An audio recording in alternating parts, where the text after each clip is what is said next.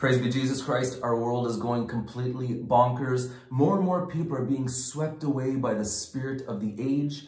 They're being seduced and they're choosing the wide and easy road that leads to destruction. Now, I have a beautiful scripture for you. Ezekiel 18. It says, Have I any pleasure in the death of the wicked, says the Lord God, and not rather that they should turn from their ways and live.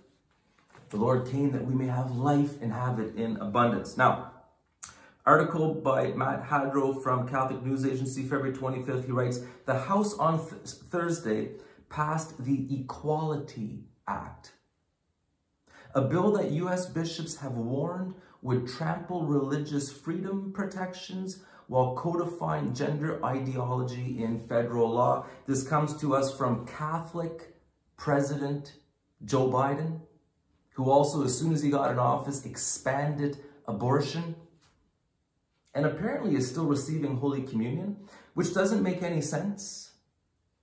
Doesn't make any sense. Doesn't make any sense at all. I want to read to you from an article, um, Catholic News Agency, February 24th. Education Department reverses stance on Connecticut's transgender athletes policy. It says here that, I guess in Connecticut, they had, quote, two biological males identifying as transgender females won 15 state championships in women's track events. One of the males broke 10 state records previously held by 10 different female athletes.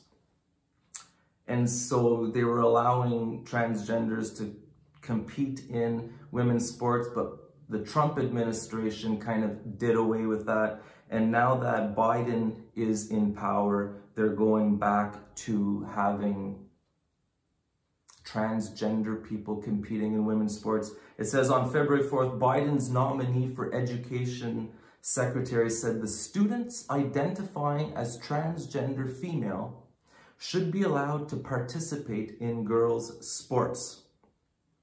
It says, legal experts warned that the sweeping order would force girls to share sports, locker rooms, and shelters with biological males identifying as transgender females. How do you think this is going to work out? Please share in your comments. Viva Cristo!